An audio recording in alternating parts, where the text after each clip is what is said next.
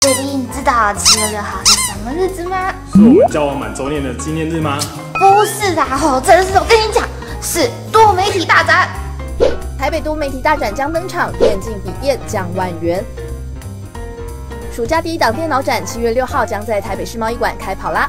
除了双 A 原厂首度进驻，三 C 商品价格更是杀的不要不要的。维新在今年 Computex 新亮相的轻薄电竞笔电，搭载十五点六寸窄边框荧幕，重量只有一点八六公斤，原价五万多，展场价下杀四万有找。技嘉也拼了，电竞笔电的新机的规格比刚刚那一台少了一颗二五六 GB 固态硬碟，显示卡在小降级一点点点，但价格硬生生再砍一万，不过有限量哦。不需要买笔电的话，周边也可以捡便宜。